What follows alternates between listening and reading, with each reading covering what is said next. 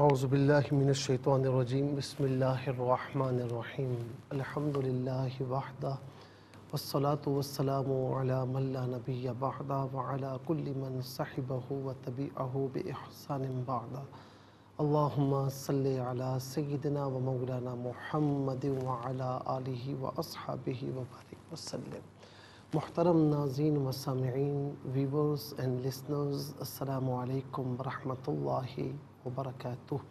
Programme قرآن سنیے اور سنائیے کے ساتھ آپ کا میزبان محمد سہیل رضا امجدی آپ کی خدمت میں حاضر ہے۔ ناظرین ماہ رمضان اسپیشل مہینہ ہے اور اسپیشل پروگرامز کے بعد انشاءاللہ اب پھر سے قرآن سنیے اور سنائیے۔ روزانہ علاوہ ہفتے اور اتوار کے سپہر چار بجے سے پھر آپ کی خدمت میں حاضر ہوں گے اور روزانہ لائیو آپ انشاءاللہ اسے دیکھ سکیں گے۔ یعنی حسب معمول انشاءاللہ ناظرین، یہ پروگرام آپ کی خدمت میں پیش کیا جائے گا۔ اور آج دو احادیث کریمہ آپ کی خدمت میں عرض کرنی ہے جو قرآن کریم کے حوالے سے ہے ابن عمر رضی اللہ تعالی عنہما سے مروی ہے۔ رسول اللہ صلی اللہ علیہ وسلم نے فرمایا کہ ان الذی لیس فی جوفہ شیء من القرآن کل بیت الخرابی کہ وہ شخص کے جس کے دل میں قرآن کریم کا کچھ حصہ بھی نہیں ہے، وہ ویران گھر کی طرح ہے۔ ناظرین، ایک اور حدیث پاک میں یہ فرمایا کہ اپنے گھر کو ویران ہونے سے بچاؤ اور اپنے گھر میں قرآن کی تلاوت کیا کرو۔ اور سورہ بقرہ خاص طور پر ناظرین اس کی تلاوت کی تاکید آئی ہے۔ اور فرمایا، حضرت عبداللہ ابن عمر رضی اللہ تعالی عنہما سے روایت ہے، فرماتے ہیں کہ، ان هذا القرآن معدبت اللہ فمن دخل فیہ فہو آمن۔ عبداللہ ابن عمر رضی اللہ عنہما فرماتے ہیں کہ، بے شک یہ قرآن اللہ کا دسترخوان ہے جو اس میں داخل ہوا وہ امن والا ہو گیا۔ ناظرین و سامعین، ذرا غور کیجیے کہ قرآن کو اللہ کا دسترخوان کہا گیا۔ ہمارے یہاں عام طور پر ہمارے معاشرے میں ناظرین، جب کسی کے گھر کوئی پہنچ جائے اور گھر کا جو میزبان ہو، وہ دسترخوان بچھائے، تو ناظرین، جو بھی اس کے گھر میں آیا ہے وہ اس دسترخوان میں بیٹھ جاتا ہے اور جو بیٹھ گیا وہ کھانے سے محروم نہیں ہوتا۔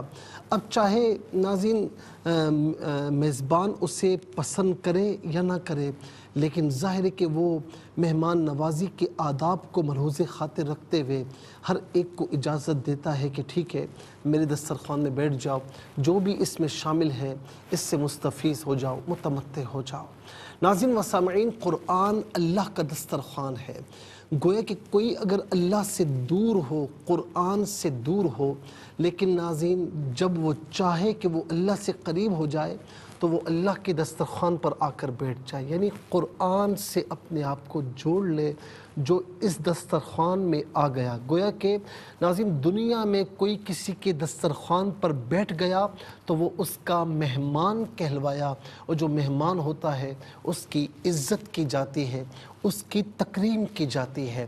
اسی طریقے سے جو اللہ کے دسترخوان کے پاس آ گیا، قرآن کے دامن کرم سے جڑ گیا، گویا کہ وہ اللہ تعالیٰ کا مہمان ہو گیا۔ اب رب تعالیٰ میزبان ہے اور وہ مہمان ہے۔ ناظرین، ایک انسان مہمان نوازی اپنے نام کی خاطر مہمان نوازی کرنے سے دور نہیں ہوتا، اجتناب نہیں کرتا، گریز نہیں کرتا۔ تو اللہ تبارک و تعالی ان تمام چیزوں سے پاک ہے۔ لیکن ناظرین، کیا وہ کوئی اس کے دسترخوان پر آ جائے تو کیا اسے محروم لوٹائے گا؟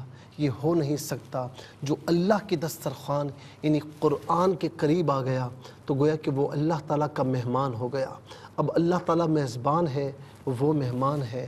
ناظرین، اتنا عرض کروں گا کہ میزبان جانے، مہمان جانے، کہ اسے کیا لینا ہے اور میزبان نے کیا عطا کرنا ہے۔ ناظرین، اس پلیٹ فارم سے ہم عام طور پر یہی پیغام دیا کرتے ہیں کہ آؤ، اب بھی وقت ہے قرآن سے اپنے آپ کو وابستہ کر لو، قرآن سے اپنے آپ کو جوڑ لو، قرآن سے اپنا ٹوٹا ہوا تعلق دوبارہ سے استوار کر لو۔ قرآن سے جو تعلق کمزور ہو چکا ہے، آؤ اس سے مضبوط کر لو۔